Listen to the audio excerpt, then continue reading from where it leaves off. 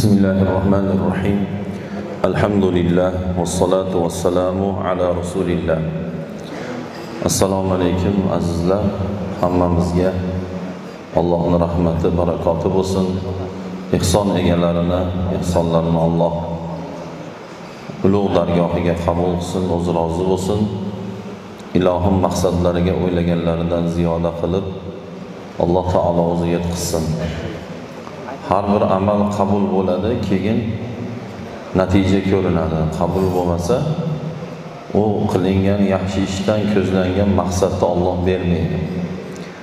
Ya'ni amalimiz qabul bo'lgandan keyin inshaalloh o'sha yerda joyidagi maqsadimizni alloh taolo o'zi ato qilib beradi. Buni oddiy misoli bir narsani egasiga mana yasab bo'ldim deb bersangiz qabul qilsa keyin pul beradi. Egasi aytganidaqa bo'lsa keyin oladi keyin pulingizni beradi. Xuddi shuni singari bizni qilayotgan yaxshiliklarimiz olloh aytgandaqa bo'lsa keyin qabul bo'ladi. Olloh aytgandaqa bo'lmasa har qancha ko'p bo'lsin har qancha katta amal bo'lsin olloh uni qabul qilmaydi. Sabab aytgandek bo'lmaganligi uchun. Masalan dinimizdagi katta amallardan bittasi pul ham ketadi kuch ham ketadi vaqt ham ketadi.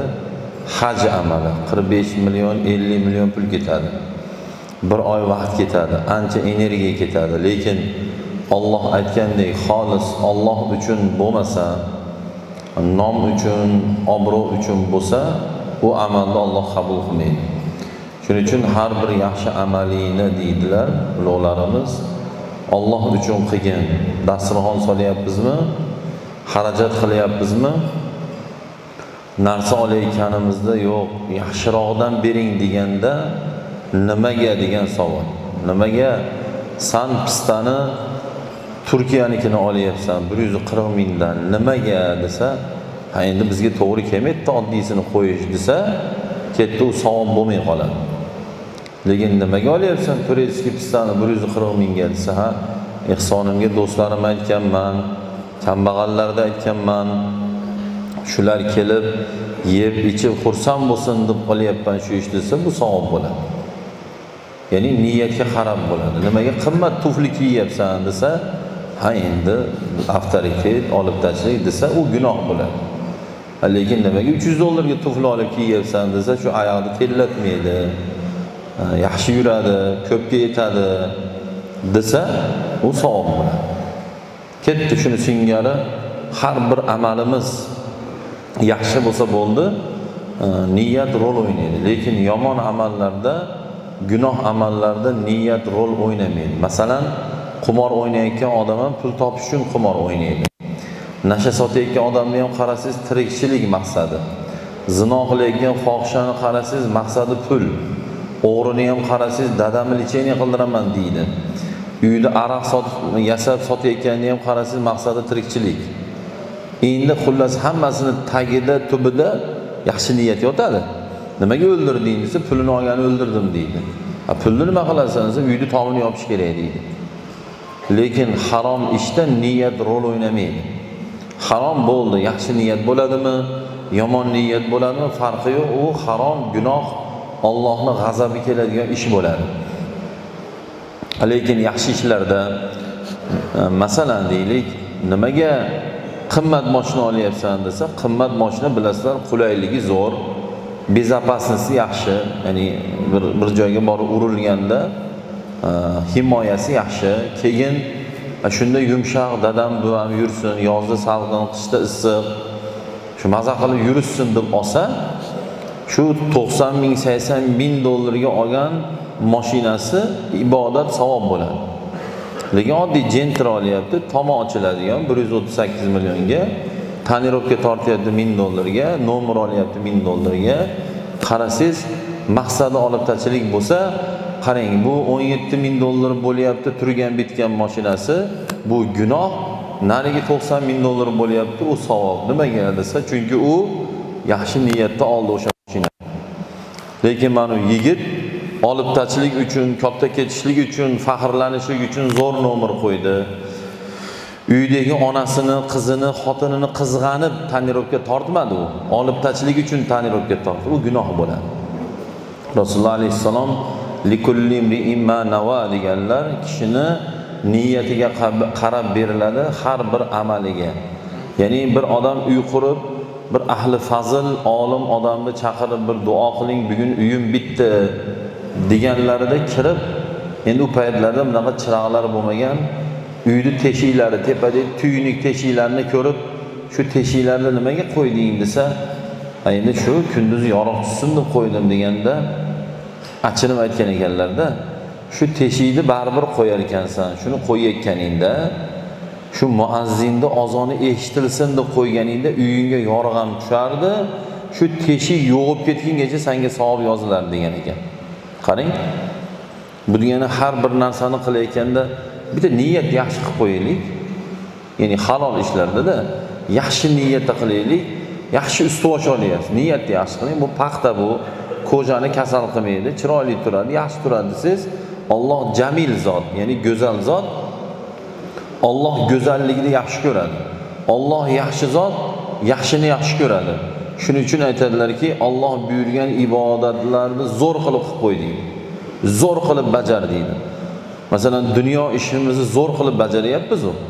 Kiyinishda mashinada telefonda uy qurishda ha desa aboyga divan to'g'ri kelmayapti deyapmizku. Shunaqangi bo'lib ketdiki haligi puli ko'p tiqilig'i ko'p degandek pul ko'paygandan ha desa eshikni palasasiga mana aboyingizga tushmayapti deyapti. Ya mayli yaxshi. Qiling bu ishlarni.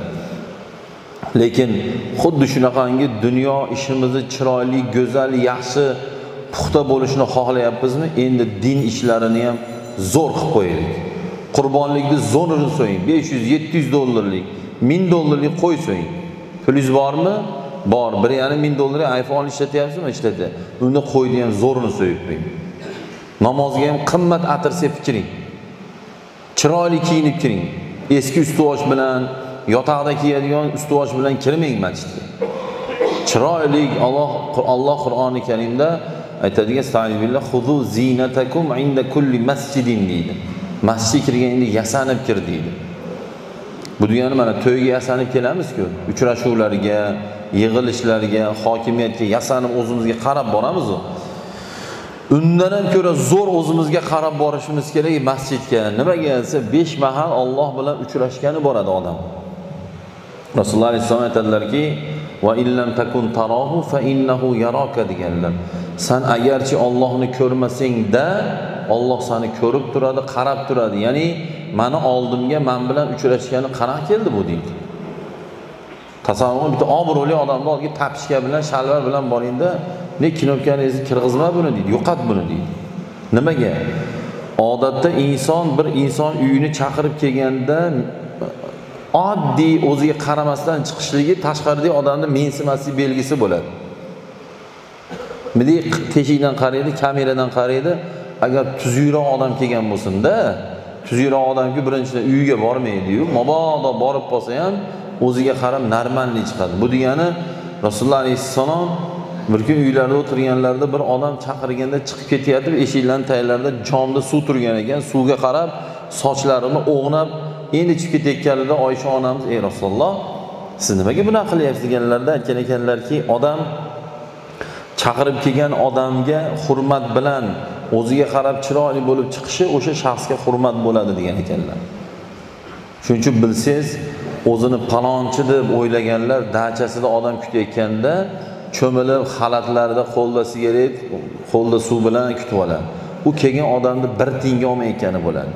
O'zidan ko'ra kuchliroq oligarx kelsinda babichkasigacha taqib oladi mayliga kuchlirog'i kelsa qo'liga chachiqni ilib olib mana qilib akaxon deb turadi. O'zidan yigirma yosh kichik bo'lsa ham lekin kelayotgan odam ish bilan kelyapti ekan. Palon viloyatdan palon odam ekan san kelaversin deydi. Xalatda o'zi yotib olib kel uka deydi.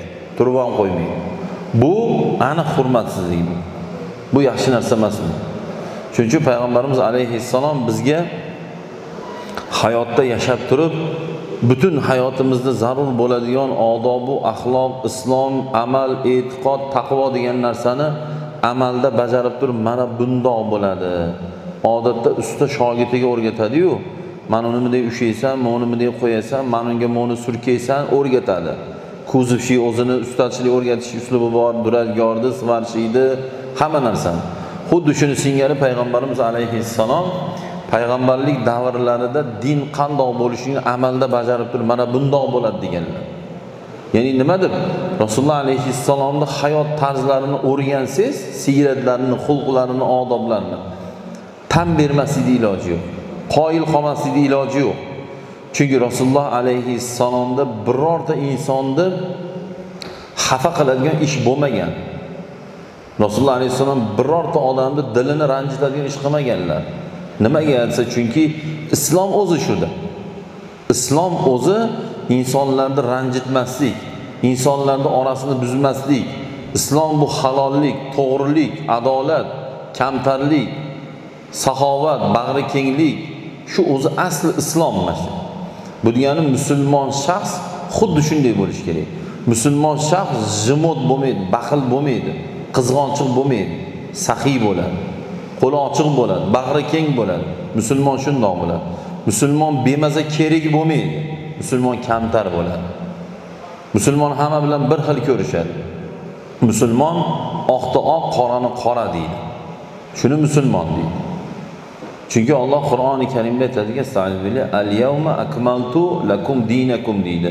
Bugun sizlarni dinlaring komil bo'ldi yuz foiz to'ldi deydi. Telefonni zaryadi yuz bo'lgandan keyin o'chiryapmizu.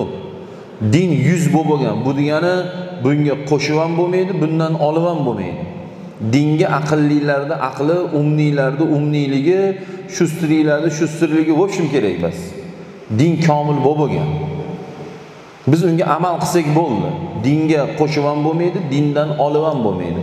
Qo'shish ham gunoh olish ham gunoh. Chunki bu din ollohni dini. Ollohni dinida kamchilik bo'lmaydi. Siz bilan mani tizimimizda kamchilik bo'lishi mumkin.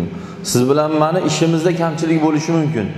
Lekin ollohni ishida ollohni tizimida ollohni dinida umuman kamchilik bo'lmaydi. Mabodo birorta odam ollohni dinidan kamchilik topsa biling u onasini qornida miyasi rivojlanmagan bola bo'ladi miyasi rivojlanmay tug'ilgan bola hisoblanadi u. Nimaga deb o'ylang butun olamni yo'qdan bor qilgan zot tuzgan dinda kamchilik bo'ladi. Umuman bo'lmaydi faqat qatidur o'ziga yoqmaganligi uchun mana o'n ming dollar berib oyiga besh yuz dollardan olib turaman. Nimasi chatoq buni deydi? Mushriklar xuddi shunadigan ey muhammad ha sani savdoda halol deyapsan. Ahallallohul bay'a va harrama riba degan oyat bor. Olloh biznesni halol qildi riboni harom qildi deganda mushriklar kelib ha sani biznesing bilan riboni nima farqi bor deydi. Bir xilku bu deydi. Lekin ribo sudxo'rlik foizxo'rlik bu harom bo'lsa mana u e, savdoni alloh taolo halol qilib qo'ydi. Ya'ni ular dinga o'zicha aqlini ishlatib qo'ydi. Hazrati ali bilasizlar sahobalarni ichida eng tanilgan sahobalardan bittalari aytadilarki agar dinga aql ishlatish mumkin bo'lganda man mahsi kiyib mahsini tagiga mahs torttirardim. Chunki tagi yerga tegadi. Lekin biz rasululloh alayhissalom mahsini tepasiga mahs tortganlarni ko'rdik. Biz kallamizni ishlatmaymiz bunga. Bo'ldi. Buyruq bajariladi muhokama qilinmaydi deganlar. Bu mumkin emas dedimi? Nimaga deyilmaydi doktor mumkin emas dedimi? Biling uni ichsangiz uni yesangiz oshqozonda yazva yoriladi shuning uchun doktor mumkin emas deyapti. Olloh va rasululloh alayhissalom payg'ambarimiz hadislarida olloh qur'oni karimda mumkin emas dedimi? Bo'ldi. Nimaga ekin oqidi ko'kidi? Manga yoqyapti u ham roziyu deyilmaydi sabab fohisha rozi bo'ladi. Fohishaga borgan o'sha razil bola rozi bo'ladi keyin zino bo'ladimi? Lekin ikkovini roziligi olloh norozi bo'lgan narsani halol qilib berolmaydi lekin olloh rozi bo'lgan narsani hammamiz norozi bo'laylik. Bizga yoqmasin u harom bo'lib qolmaydi. Mana bomdodga turish kimni nafsiga yoqadi? Deb o'ylab qarasangiz ayni mazza qilib televizor ko'rib o'tirganingizda tur asrda o'qi deydi olloh tur deydi. Kimga yoqadi bu lekin olloh robbimiz qil degandan keyin mana oddiy misol hayotda endi kiyinib chiqib ketyapsang onamiz borma shaqa desa xo'p deyish kerak. Vaholanki o'rtoqlarimiz do'stimiz chiqishimiz kerak kutib turishibdi. Lekin ona chiqma desa yoqmaydi nafsimizga. Lekin o'sha joyda tarbiyali bola xo'p bo'ladi ona deydi. Shuning telefon oladi uzr borolmaydigan bo'lib qoldim deydi. Hozir bugun yoshlarni ichida ha desa dadam unamadi deyish kallasiga sig'maydi bugun yoshlarni chunki yoshlar tomdan tarasha tushgandek ko'pi hammasi emas o'zini o'zi boshqaradigan bo'lib qoldi. Birortasi ketdik dam olgani masalan toshkentga yo oqtoshga yo qayergadir boramiz desa bo'ldi ertadan reja qilaveradi. Birortasi aytmaydiki to'xta dadamdan so'ray to'xta onamdan so'ray demaydi.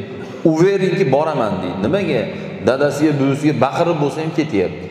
O'shani qadami dam olishi o'sha joyda ollohni la'natida bo'ladi bu narsa bu. Bu kichkina narsa emas bu. Bugun dadasini onasini aytganini qilmasdan gapiga kirmasdan ko'chaga chiqib ketib oshiga futboliga to'yiga yo qanaqadir ishiga ketayotgan bolalar bugun oddiy holga o'xshaydi. Lekin unutmang ota onani norozi qilib ish qilishlik bu ollohni g'azabida bo'lish ish degani bu degani. Xudo saqlasin. Shuning uchun ota rozi xudo rozi deb bekorga aytilmagan. Alloh qur'onda va qado robbuka deydi. Sani robbing shuna hukm chiqardi deydi. Haligi sudyalar bolg'asini bir urib turib yigirma yil deydiyu olloh xuddi shuna hukm chiqaradiki alla tabudu illa iyyahu deydi. Mandan boshqasiga sig'inma mandan boshqasiga ibodat qilma deydi. Deb turib ham yonida aytadiki va bil validayni ihsana ota onangga yaxshilik qilgin deydi. Buni tafsirida ulug'lar aytadiki dunyodagi hamma narsalarni zo'rini dadangga buvangga qil degan. U palonchiga qil degani emas banketni zo'ri ota onaga bo'ladi. Tuflini zo'ri dadaga olib beriladi. Ko'ylakni zo'ri xotinga emas onaga olib beriladi. Ha bugunchi bugun onada yetmish besh minglik shippay xotinjon akada yuz dollarlik tufli. Nima bu? Qani o'g'il bolasan san onangga olib bermagan narsangni xotiningga olib bersang dadangga olib bermagan narsani o'zing kiyib yursang kim u? Dada sakson minglik shapkada o'zlari no'rka telpaydilar ha to'rt yuz dollar. Ey to'rt mingga olmaysanmi turshak? Ha sani u kiyib yurganing olib tashlagin qayerdayu palon dublonkayu dadang bu yoqda ana namanganda tikilgan kurtkani kiyib yurgani qayerda bir tiyin aql egalari o'sha bolalarni baklashgani qopqog'iga ham olmaydi o'sha bolalarni. Dadasiga onasiga xotiniga go'dak bolasiga uy sharoitiga yaxshi qaramasdan ko'chada karillab olib tashlik qilib yurgan odamni aql egalari bir tiyinga olmaydi sanga bas uka deydi. Chunki san boyag'ida tonirovkani tortib olib tashlik qilib yuribsan deydi. Nechi marta ko'rdim dadang buving taksida yo'lda damas kutib o'tirganini ko'rdim deydi. Sanga bas olib tashlik qilib yurish deydi. И bu ayni haqiqatan shu aslida bu mani nafsimdan to'qib gapirayotgan gapim emas bu. Bu dinimizni gapi bu. Rasululloh alayhissalomni tavsiyalari nasihatlari shu. Chunki islom shuni siz bilan mandan talab qiladi. Hatto rasululloh alayhissalom aytadilarki ota onasini xafa qilgan bola jannat hidini hidlamaydi deganlar. Shu darajada. Ha bugunchi bugun. Ha bugun ota onasini ranjitgandan keyin o'ylanmasdan yurgan odam qancha? O'ylanmay yurgan farzand qancha bugun? Bu nimadan shunaqa deb o'ylaysiz? Sabab bitta narsa. Shu o'sha bolada diniy tushuncha yo'qligidan. Ota ona ham ma'lumotni bermagan o'zi ham intilib yo internetdan yo kitobdan o'qib bilib o'rganib ma'lumot olmagan. Lekin alhamdulillah xudoga shukur hozir ichlaringda ichimizda dinimizda qaytarilgan narsalarni bilmaydigan odam yo'q ichimizda. Kim nashani haromligini bilmaydi kim bilmaydi? Zinoni haromligini kim bilmaydi? Eri bor ayol bilan zino qilgan insonga dunyodagi hammaga berilgan azobni ellik foizi shunga beriladi deyilgan ko'ryapsizmi? Bugun na millatni o'ylayapti na diyonatini o'ylayapti. Ha u ayol manga o'xshagan bitta erkakka tegishli bir ayolku bu. Bu ayol ahmoq ekan xo'p. Shu ahmoq ahmoqlik qilsa keyin man ahmoqlik qilmay mana siz bilan man qanaqa mana mana bir sahobani hadisini aytib bering. O'zimizni misol qilsamchi og'ir botib ketib qoladi. O'zimga ham og'ir botib ketadi xudo saqlasin bu kunni xudo harom qilsin ilohim. Bir bir odam bir yangi dinga kirdi rasululloh davrlarida sahoba bo'ldi. Va aytdiki rasululloh man hamma yo'lni o'rgandim bildim lekin shu zinoga ruxsat bersangiz menga o'rganib qolganman bu ishga dedi. Chunki yangi dinga kirgan tushunmaydi. Rasululloh alayhissalom onang bormi? dedilar. Ha bor. Qizingchi? Bor. Opang bor. Amming xoling. Xotining? Ha hamma. Bu bir erkak kishiga tegishli bo'lgan hamma ayol bor ekan unda. Qizi xotini onasi katta buvasi ammasi xolasi opasi singlisi bor ekan. Rasululloh aytdilarki shu sanga tegishli bo'lgan ayollardan bittasiga bir odam shu ishni qilsa rozi bo'lasanmi degdi haligi sahoba bo'ldi ey rasululloh tavba qildim bo'ldi zino qilmayman degan ekan. Ko'ryapsizmi shunga rozi bo'lamizmi? Hatto gapirib turib odamni bunaqa bo'lib ketadi xudo saqlasin hech kimni boshiga bu kunni solmasin. Bu kunni ko'rgilik qilmaylik ilohim. Lekin duoni o'zi bilan bo'lib qolmaydida. Rasululloh alayhisalom hadislari borki sizlar deb biz erkaklarga aytganlar. Sizlar uylaringdagi ayollar sizlarga tegishli bo'lgan ayollar begona erkaklardan qanchalar pok bo'lishini xohlasalaring sizlar o'zlaringni shunchalar begona ayollardan pok saqlanglar. Manimcha tushundilar bu degani biz begona ayollarga nisbatan nima qilayotgan bo'lsak ko'pga qaytadi go'layapmizmi bizga tegishli ham go'layadi sms yozyapmizmi? Sms keladi. Ag'ini endi man gapirolmayman shuning uchun shu yerda o'tirgan shuncha erkakni ichida endi man bilmayman. Yo'q deyolmayman lekin. Ko'zni ochib oling ekan. Uyg'oning. Bu yaxshi narsa emas bu. Olloh bekorga qaytarmagan. Olloh zino qilma deyish tugul vala taqrobu degan. Yaqiniga borma degan. Bu nima degani shunga tegishli bo'lgan ishlarda umuman yaqiniga ham borma degan. Olloh bekorga mast qilguvchi narsalarni harom qilgani yo'q akalar. Sog'liqqa zarar pulga zarar obro'ga zarar oilaga zarar jamiyatga zarar oxiratga zarar. Koni zarar narsalarda olloh qur'onda zaprishon qildi. Mumkin emas dedi. Nimaga? Olamni olloh yaratdi. O'sha narsalarni ham olloh yaratdi. Siz bilan mani ham olloh yaratdi. Olloh biladiki biz o'zimiz sog'lig'imiz obro'yimiz pulimiz jamiyatimiz nima bilan rasvos chiqadi? Olloh biladi. Shuning uchun shuni birortasiga zarar narsa bo'lsa qilmadi shu ishni qilmadi chunki qilma qilmadi nima? Mana bolamizga ey kechasi ko'chaga chiqma desak xafa bo'ladi. O'n to'rt o'n besh o'n yetti yashar bolamiz kirib olib eziladi. Dadam nimaga unamadi? Palon bo'lgani kirib olib buvisiga yig'laydi. O'sha kechasi ko'chaga chiqma deyishligimizda yaxshilik borligini bola tushunmaydi. Kichkina bolachamizga velosipedingizni minib ko'chaga chiqib ketmang chiqib ketmang deymiz. Chiqaversa velosipedini olib qo'ysang xafa bo'ladi. U bilmaydiki chiqib ketib turib avariya bo'lib o'lib qolsamchi degan narsani tushunmaydi u. Dada buvisi tushungan narsani tushunmaydi u.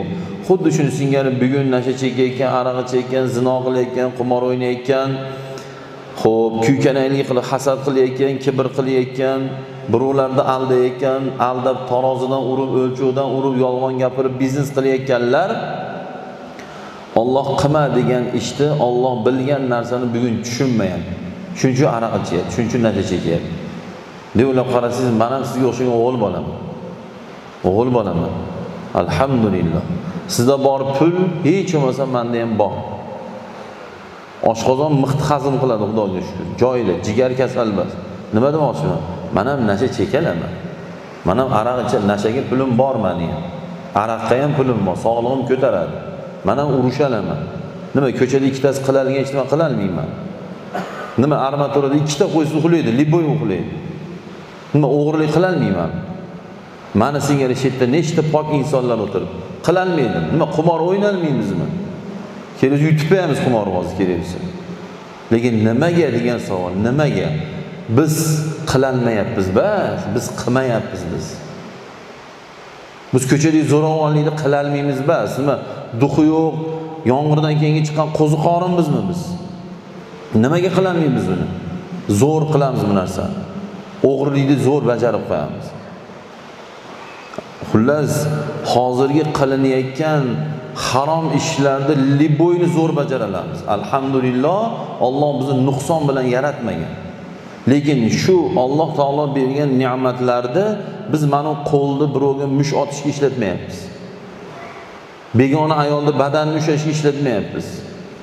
Aroqni qopqoni emas balki kitob ochyapmiz chakapor emas tasbeh ushlayapmiz biz degani man maqtamoqchi emasman shu yerda o'tirgan bir necha yuz odam hamma baslaydi.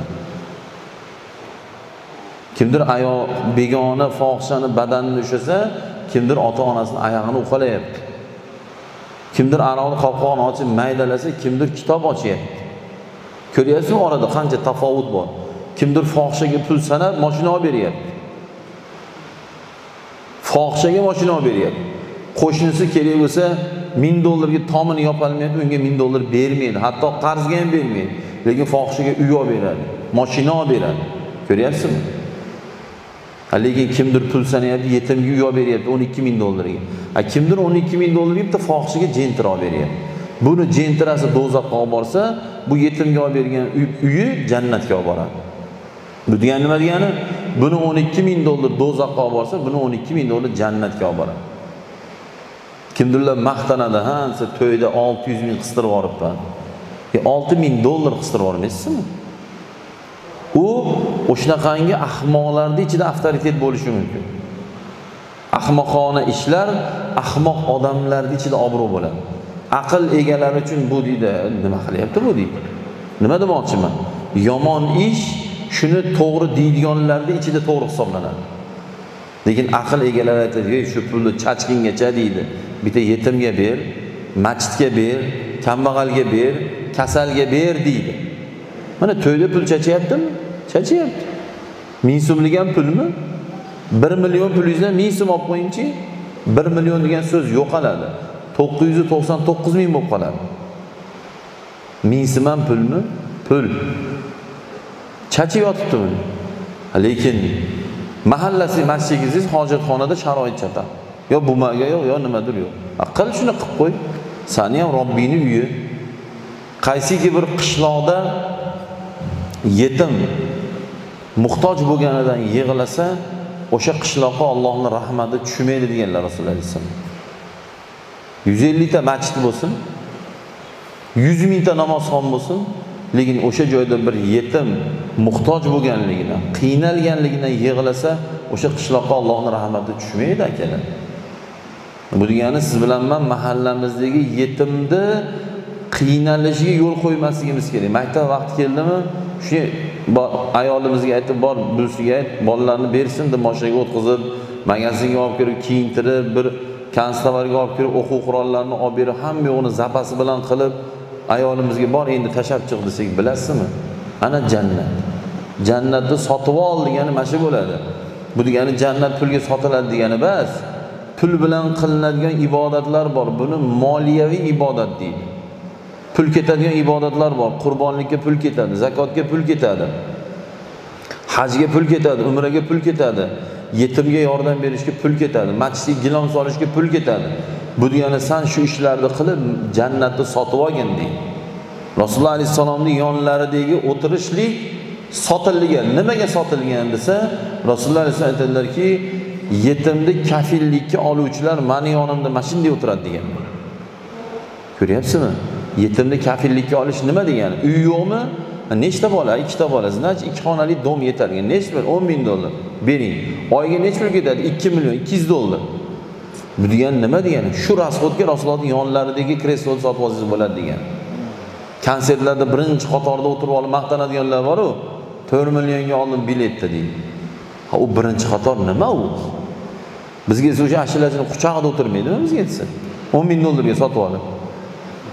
Lekin rasululloh alayhissalomni yonlarini olishga birov qiziqmaydi ko'ryapsizmi? Ummat qaysi holatga keldi? Bu degani gunoh isrof bilan bugun ummat maqtanadigan bo'lib qoldi. Zaksga ko'p moshinasi chiqishi bilan yo qanaqadir bo'ladiyu dunyoda hamma davlatda bor baribir qanaqadir tanilgan moshinalar bo'ladi. Shunaqangi moshinalar bilan zaksga chiqishi bilan maqtanishlik yoki to'yga odam ko'p kelishi bilan maqtanishlik yoki kimnidir urib uxlatib qo'yish bilan maqtanishlik. Qarang zulm harom birovni qonini to'kishlik birovni xafa qilishlik harom bo'lgan ishni qilib ya'ni urib hushidan ketkazib qo'yib ertasiga oshda o'tiradi maqtanib. Bitta qoqovdim bitta usovdim qo'chqorga o'xshab uxladi deydi ko'ryapsizmi? Bugungi ummat gunoh bilan yomon ish bilan maqtanadigan bo'lib qolyapmiz. Alloh qur'onda nima dedi? Man maqtanchoqlarni yomon ko'raman. Shuning uchun olloh o'zini fazli bilan o'zini marhamati bilan bizga pul beradi avtoritet beradi kuch beradi mansab beradi. Biz o'zimiz egador bo'lolmaymiz. Bo'lolmaymiz biz. Bugun nimagadir ega bo'lgan shu yerda o'tirganlarda mana hammamizni har xil состояниямiz borda pulda obro'da umrda hamma narsadada biz o'ylamaylik bugungi erishgan yutuqlarimizni man qildim demaylik. Olloh yo'l berdi olloh izn berdi olloh imkon berdi olloh berdi keyin bugun siz yuz ming dollar pulingiz bor. Bo'lmasa uni topolmaymiz biz. Bu nima degani? Ha bizga olloh berdimi endi u narsa bilan o'zingni katta olma deydi. U narsa bilan maqtanma deydi. U narsalarni endi san yaxshilikka ishlatgin deydi. Bugun tug'ma baquvvat bola kuchini ko'pligi bilan masalan tug'ma baquvvat bola zalga kirib ikki oy tosh ko'tarsa ancha muncha odam uni bir narsa qilolmaydi uni aniqku bu. Endi u kuchi bilan u zulmga ishlatmasin. Chunki har bir ne'matki ne'mat degani olloh bergan narsani nomini ne'mat deydi. Har bir ne'matdan kim jinoyat uchun yomon gunoh uchun ishlatsa ishlar uchun ishlatsa u ne'mat o'sha egasini jahannamga olib kirib ketadi. Lekin kim ne'matdan unumli foydalanib yaxshi yo'llarga ishlatsa u ne'mat o'z egasini jannatga olib kirib ketadi. Shuning uchun ko'p aytamanki onani oyog'ini uqalagan qo'l onani oyog'ini uqalagan kuch jannatga olib kiradi. Lekin bir fohishani ushlagan qo'l bir fohishani ko'targan kuch o'z egasini do'zaxga olib kiradi kartachilagan qo'l chakaporotgan qo'l nashani urug'ini tergan qo'l o'g'irlik qilgan qo'l pora bergan qo'l pora olgan qo'l o'z egasini jahannamga olib kirib ketadi. Shuning uchun xulosani qiling aka mani pulimga siz ichganingiz yo'q sizni pulingizga man nasha chekkanim yo'q. Kim nima qilsa o'zini puliga o'zini kuchiga qilyapti. Lekin olloh bizga nima dedi? Taavanu alal birri va taqvo taqvo ishlarida yaxshi ishlarida bir birlaringni поддержка qilinglar yordam beringlar dedi. Shuning uchun biz kelib bu joyda mikrofon ushlab gapiramiz. Nimaga? Qiyomat kunida bir imom nechi yil imomgarchilik qilsa o'shancha yil ichidagi diniy holatdan imomdan so'raydi svarshiydan so'ramaydi olloh u svarshiydan qilgan zakasini nimaga chala yopishtirgansan san oldini yopishtiribsa orqasi qolib ketibdi egasi ko'rmaydigan joyda uni undan so'raydi. Dindan olloh bizni so'raydi doktordan so'ramaydi. Shu qiyomat kunida robbimizni oldiga borganimizda yuzimiz qizarib qoraymasin deb turib mikrofonni olib uyatmaymiz ham и qo'rqmaymiz ham. Haqiqatni yetkazishlik uchun uyatma uyatish kerak sigaret chekkani uyatish kerak nos chekkani uyatish kerak birovni onasidan kelib so'kingani uyatish kerak bomdodga uxlab yotgani uyatish kerak gunoh qilgani. Lekin ollohni dinidan gapirish kerak bo'lgan mulla ahli ilm uyatchang bo'lsa qo'rqoq bo'lsa maiza qilolmaydi maiza qilolmaydi nimaga? Qo'rqqani uchun и uyatganligi uchun. Alhamdulillah boshqa ishlarga uyatamiz xudoga shukur lekin haqiqatni yetkazishlik uchun dinimizni yetkazishlik uchun mana alhamdulillah yigirma yildan oshdi uyatganimiz ham yo'q и qo'rqqanimiz ham yo'q. Xudo xohlasa bizni niyatimiz uyatmaslik va qo'rqmaslik. Yomonlar только period deydiyu u yomonlardan tirijda bizga только period. Orqaga qaytish yo'q. Inshaalloh olloh agar qaytarmasa inshaalloh bandasi qaytarilmaydi nimaga? Biz haqiqatda gapiryapmiz. Maqsad jamiyatimiz chiroyli bo'lsin go'zal bo'lsin yaxshi bo'lsin. Qotilliklar mashinliklar firibgarliklar zinolar otasi notayin bolalar tug'ilmasin deb biz jon kuydiryapmiz. Shuning uchun fohishalik haqida ko'p gapiramiz. Bular jamiyatni qurti bular bular zarar ko'randa bular bular hayvondan battar shaxslar bular. Nimaga? Hayvon jamiyatga zarar yetkazmaydi. Lekin bu fohishalar jamiyatga millatga zarar yetkazadi bular. Jamiyatni bulg'aydi oilalarni buzadi spid tarqatadi otasi notayin bolalar tug'iladi. Fohisha hech qachon hech qachon bolasiga zo'r tarbiya bermaydi. Natijada nima bo'ladi? Jamiyat bulg'anadi. Jamiyatga yomon qo'shiladi mana oddiy misol hozir ichimizda to'rtta pichoqchi bola bo'lsa nima degani? Ja tiqib o'ldirib yubormasa ham kimnidir nogiron qiladi to'rtta moshennik bo'lsin yig'inalar to'playmiz ikki yuz dollar uch yuz dollar besh yuz dollar qilib bir pachka qilamiz. Bir pachka pulingizni o'ngdan chapdan orqangizdan kelib aldab yurib afsona gaplarni gapirib o'n ming dollarni olib kelib bermasinchi nima bo'ladi? Isbotlaydi desangiz notarius yo'q isbot yo'q dalil yo'q. Uni basharasiga ishonib bergansiz o'n ming dollarni. Keyin bezdek turaveradi ha man sandan qachon olibman? deydi. Yoki olasanda deydi. Nima deb qo'yadi? Pulingga emas kuningga kuyasan to'qson yettiga kirganda berasanmi san shu gapni topyapti yana haligi. Birovdan qarz olganlar. Nima emish pulingga emas san kuningga kuyasan ha? Sen o'n uch yil oldi yo'q. Nima degani? Kulturniy bermayman deyishni kulturniy yo'lida bu. Kulturniy gaday deydi bu narsani. Kulturniy o'g'ri deydi. Ha bundan yigirma besh o'ttiz yil oldin uch minutda olingan liboy pulni uch minutga bormagan. Shuni olib borib ikkita qoqqa uyini sotib to'lagan. Ha bugunchi bugun. Bugun erkaklik g'ururi ham qolmayapti. Oldin bobolarimiz birovdan qarz so'rash o'limdan qattiq bo'lgan. Birov bilan qarz bilan yurishlik ko'chada yurolmagan erkak kishi shunaqangi g'ururli bo'lgan. Bugun itdan so'ray qarzlarni qarasangiz somorda yo palon restoranda yo qarasangiz zo'r moshina minib olganlar ko'chada itdan so'ray qarz o'zi. Birorta o'rtog'i aytmaydi oshna san bunaqa qilib yuribsanu man bunday surishtirsam ko'chada ellik besh ming dollar qarzim bor ekan bu yurishingni qara oshna ha o'shalarda ellik besh ming dollar o'nta odamdan besh yarim ming dollardan qarz bo'lsang ha shular mehnat qilib topgan moshinangni sot uyingni yarmini sot chekingni sot dachangni sot ber qarzingni deydigan o'rtaqni o'zi yo'q nimaga desa chunki mashinniklar mashinniklar bilan oshiydi narkoshlar narkoshlar bilan oshiydi. Sabab yaxshi yomon bilan yomon yaxshi bilan o'tirolmaydi. O'xshatmasa uchratmas deb shuni aytadi. Shuning uchun o'g'limiz qizimizga zo'r o'rtoq zo'r dugona tanlashligida amalda yordam beraylik akalar. Yomon bolalarga qo'shilib qolmasin. Xudo saqlasin duo qilaylik allohim parvardigor shu joyda gapirilgan gapga avvalo o'zim amal qilay va eshitgan hammamiz birdek chiroyli amal qilib qolgan hayotimiz chiroyli. o'zi olloh rozi bo'ladigan holatda o'tishini alloh taolo o'zi nasib qilsin ya arhamar rohim qolgan qur'on o'qib bersalar bir duo qilamiz keyin yana أعوذ بالله من الشيطان الرجيم بسم الله الرحمن الرحيم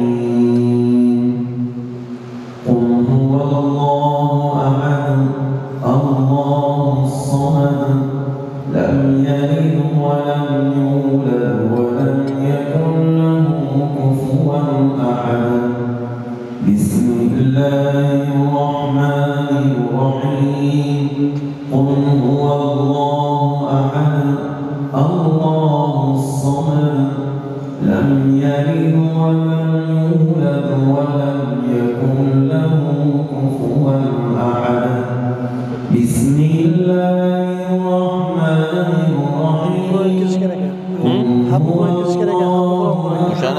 O'shani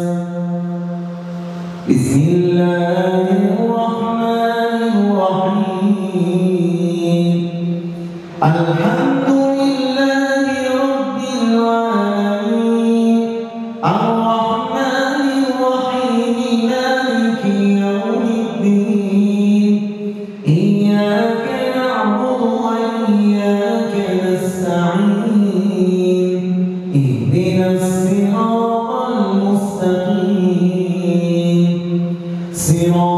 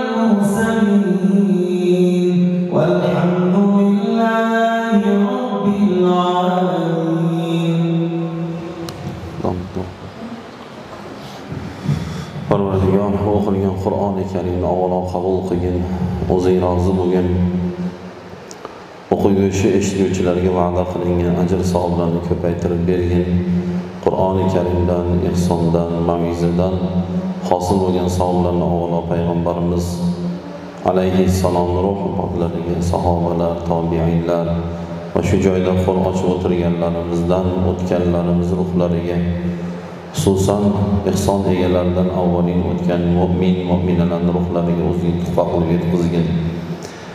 Bu o'tirishimizga bu ehsonlarga sabab bo'lgan yoshlarimiz baxtli saodatli bo'lishsin qo'sha qarashsin umrlarini oxirigacha bitta nikohda xursand bo'lib yashashlarini alloh taolo o'zi nasib qilsin. Kelin kuyovni dunyoga kelishlariga sabab bo'lgan ota onalarini tanijonlarini sog' qilib ko'p yillar farzand nabiralarni rohatini ko'rib duogo'y bo'lib yurishlarini alloh o'zing nasib qilgin. Oramizda oilamizda kasallar bo'lsa shifo bergin. qarzi borlar bo'lsa allohim yordam bergin qarzlaridan qutulishsin ishi yurmayotgan yigitlarni ishlariga barakot bergin ish oqtarayotganlarga allohim halol kasblarni o'zing ko'rsatgin o'zing bildirgin farzand talablariga solih o'g'il soliha qiz farzandlarni o'zing ato qilib bergin اللهم صل وسلم وبارك على نبينا محمد وعلى آله وأصحابه أجمعين برحمتك يا أرحم الراحمين 那么，作为呢？